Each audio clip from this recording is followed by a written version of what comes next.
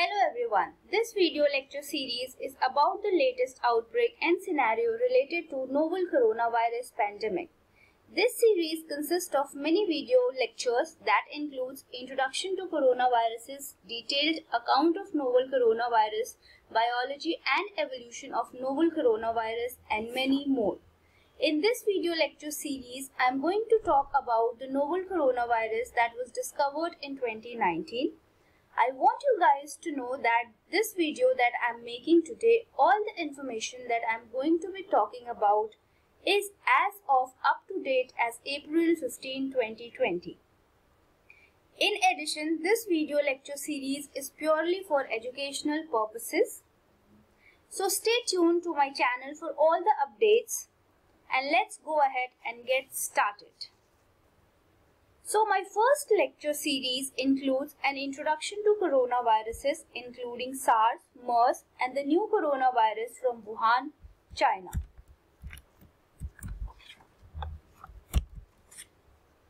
So coronavirus are a family of RNA viruses in order known as nidovirales.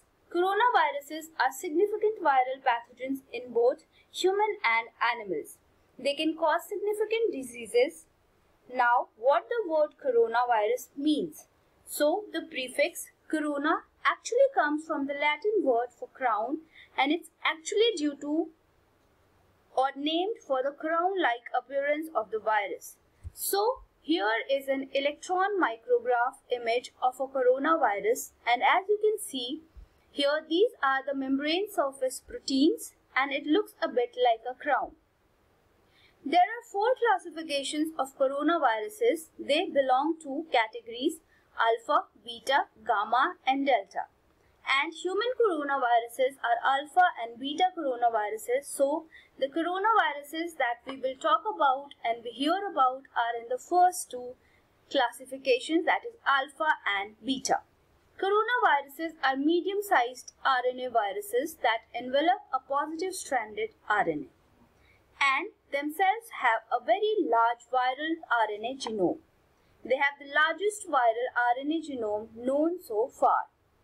So what are the host and reservoirs of this virus?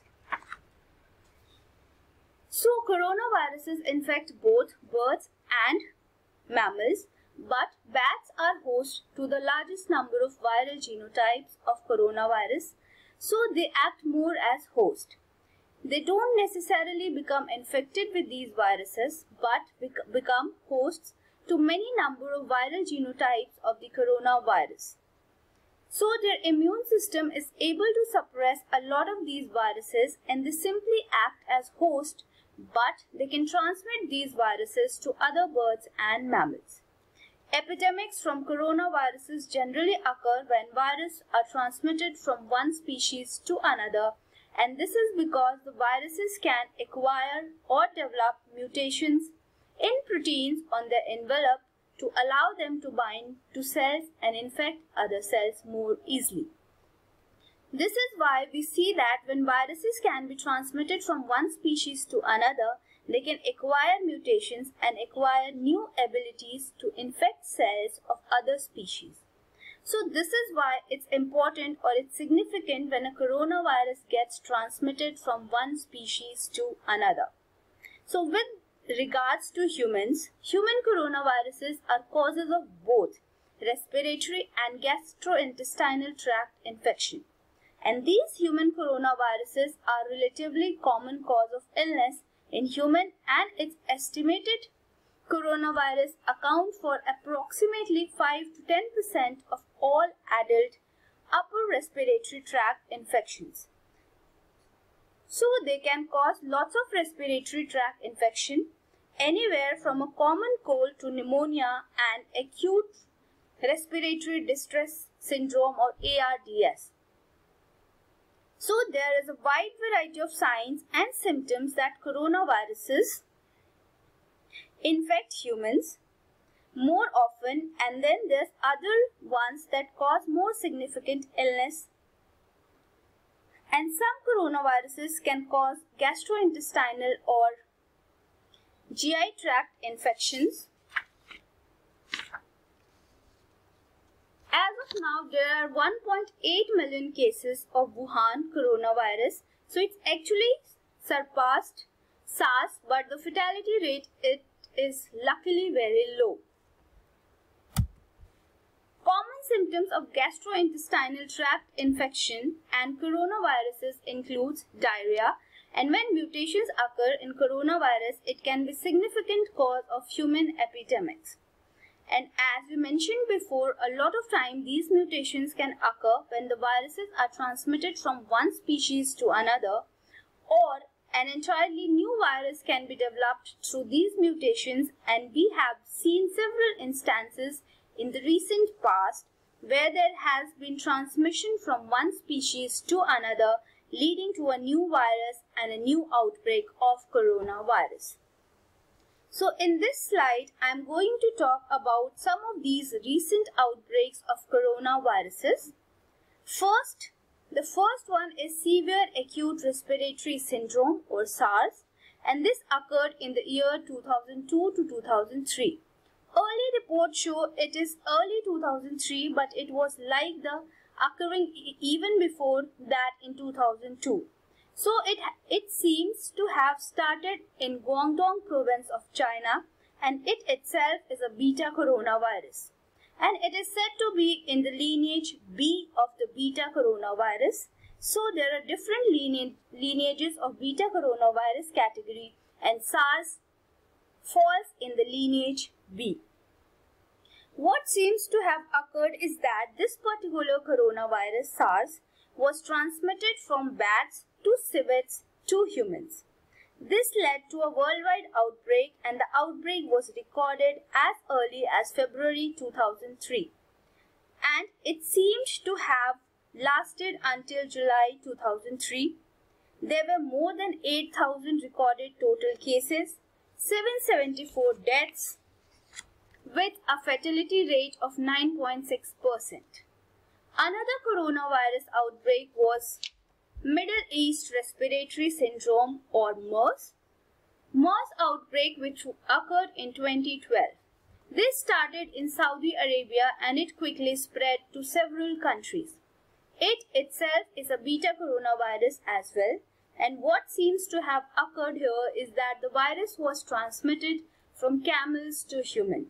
So either through eating camels or exposure to camels or drinking camel milk. And as of this video, there are more than 2400 cases of MERS and a recorded 858 deaths with a fatality rate of approximately 34.4%. So very high fatality rate. And the newest one that has come on the scene is the 2019 novel coronavirus and it's designated 2019 NCOV. So this one occurred in December 2019. It probably even earlier than that. We'll talk more about that in the next video lecture. This novel coronavirus first started in Wuhan, a city in the Hubei province of China and it is the seventh coronavirus found to cause illness in humans and like SARS and MERS, it is itself a beta coronavirus and it has lots of similarity to SARS which we'll talk about in the next video as well. So what seems to have taken place here is that right now we are not sure exactly how it was transmitted. There were some early evidence suggesting that it was transmitted from snakes to human, but now some evidence is suggesting it's more likely that it came from bats.